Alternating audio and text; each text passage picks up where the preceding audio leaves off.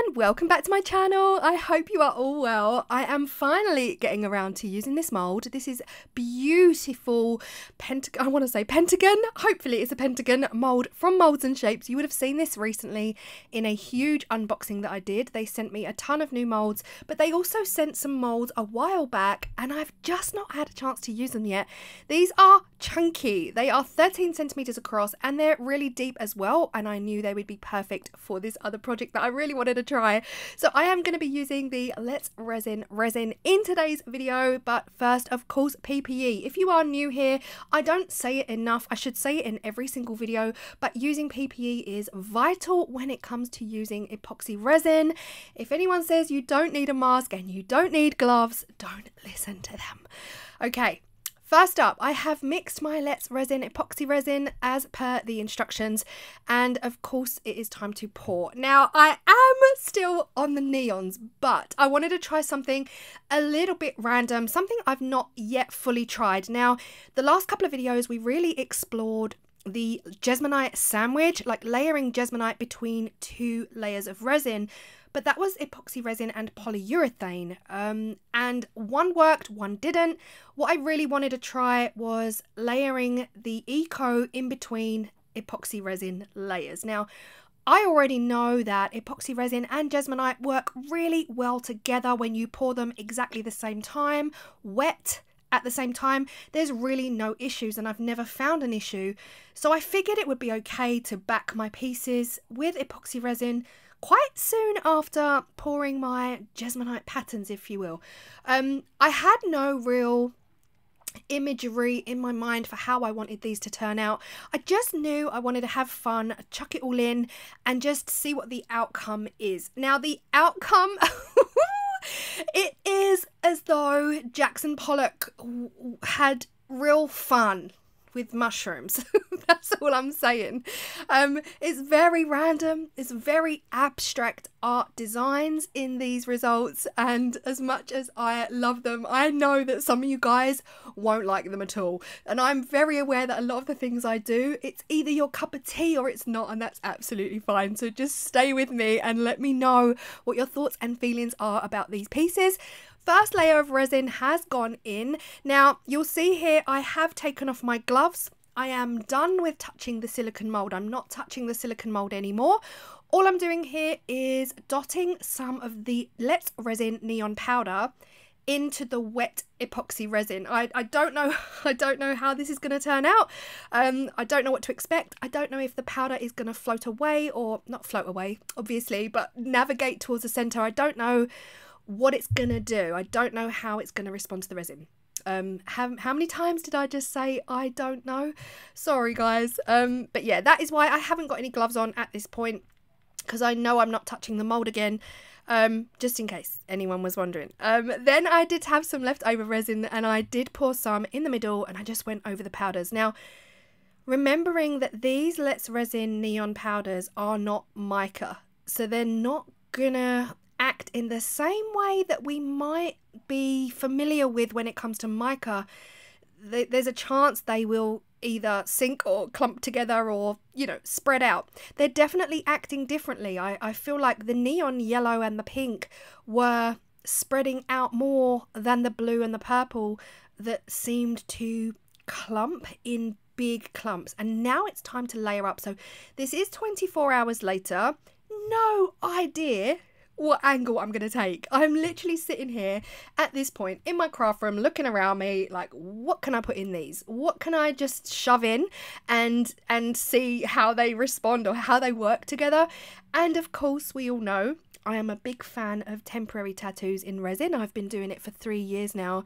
Um and yeah, I figured that I would put temporary tattoos into two of them and then leave two without temporary tattoos, just to see the difference and see what I prefer best, seeing as I've not done this before with the resin background and all of that jazz. So first up we have a beautiful dream catcher and then this one here is like a tiger and a butterfly together. I don't know why. Tattoos are so random. Um, and this one is going to go down into the blue and the dream catcher, which was purple in colour, went down into the purple powder. Now, hindsight is a wonderful thing. I do feel like the dark, because the tattoos are quite dark, I think if I were to try this again, I would put them in with the lighter colours. So you definitely get that pow in your face contrast between the two. Um, either way you can still see them and they're still super pretty but yeah if i had to do this again i would put the darker tattoos with the lighter colors now i am just applying the tattoos to the surface of the cured resin and then I am dabbing the back with the soaked sponge to make sure that the paper can just slide off. And these are looking so pretty at this point. I absolutely love this dream catcher. There is something about dream catchers I just find so relaxing. I don't even own one, but they're so, so pretty.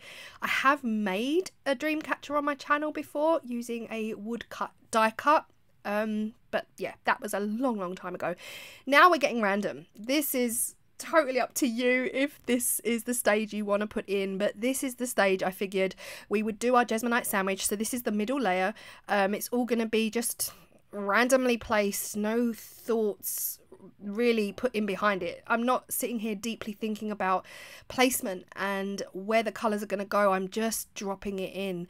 When you're doing things like this, just don't mix too much. I've I've only mixed a small amount of Jesmonite or if you're using any other eco, just don't mix too much because um, a little goes a long way when you're just doing splashes and lines and splodges like this um, but yeah I love this neon yellow. I'm so obsessed with the neon yellow right now.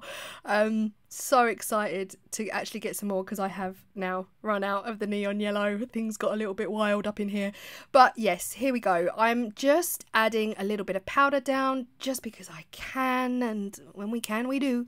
Um, not sure what impact, if any at all, that it is going to have on the final result when we demold. But again, just having fun with some lines and just going with the flow. The one thing I did make sure I, I, I went through with here is to clean up those edges. All of that Jesmonite that went out and over the edges, make sure that you wipe it clean off so that in the final result it's not going to impact the results at all. So that was a really important step and i'm not sure i kept it in shot. So i just wanted to say it out loud while i was sitting here thinking about it. But yeah a little bit more green powder which went massively wrong. I just thought i could dip my look at the gloves sort it out.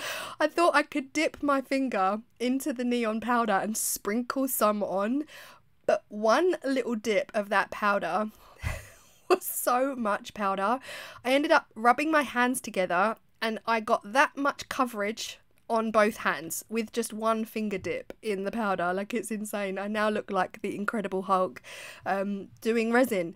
But here we are. We are now backing them. So, like you saw on the screen, this is 30 minutes later after pouring the Jesmonite, it's time to back them, and I'm using um, Let's Resin, epoxy resin, 24 hour cure, with the white Vista pigment. Now, the Vista pigments are intense and beautiful, and their white is is my go to, and also so is their black, the beautiful liquid pigments. They're getting backed in white because I really want the contrast. Now, I didn't go with black because I knew that if I went with black, we'd probably dull the colours, we'd maybe lose those temporary tattoos as well. They wouldn't be so in your face or so visible. Now, I already knew after filling up one of these um, coasters that I didn't make enough resin. I didn't make enough resin at all.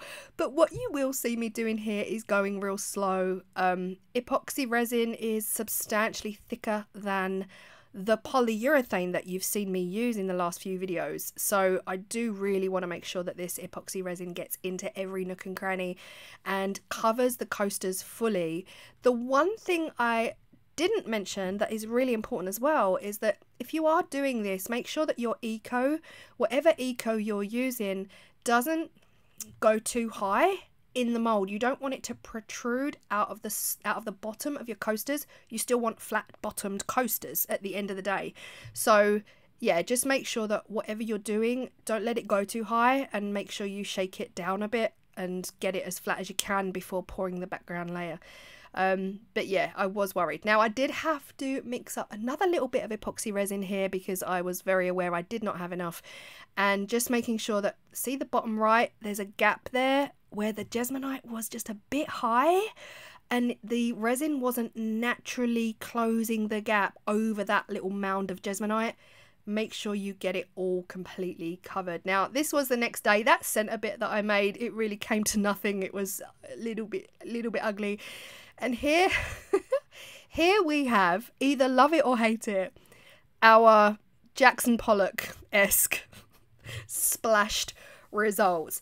Now, you can see the powder where I've put the powder in. The yellow has responded completely differently to the purple. The purple has almost clumped up in places. The tattoo itself, the Dreamcatcher, so pretty. But what I really like about this one are the lines. Those lines are giving me tiger stripes or zebra stripes. Definitely zebra. I'm loving, loving. Um, but yeah, that was up there as one of my favourites. This one was a complete meh. There's no contrast in this at all. I don't like the lines that the Jesmonite has made. I love the way the yellow powder has gone in. The purple powder has clumped again. But yeah, as it said on screen, complete lack of contrast. Nothing visually exciting to see in that coaster at all. And I know everyone's going to have an opinion, but this is up there. This is up there as one of my favourites. The pow, the, the just the the whole poof of pink powder in the middle there. Love, love, love. It looks very cloud-like, very just, yeah, gorgeous. Love this one. Love. There's no tattoos in here. Again, it's literally just two colours, the pink and the yellow, but I think they've worked really, really well together to give us that abstract Pollock-esque design.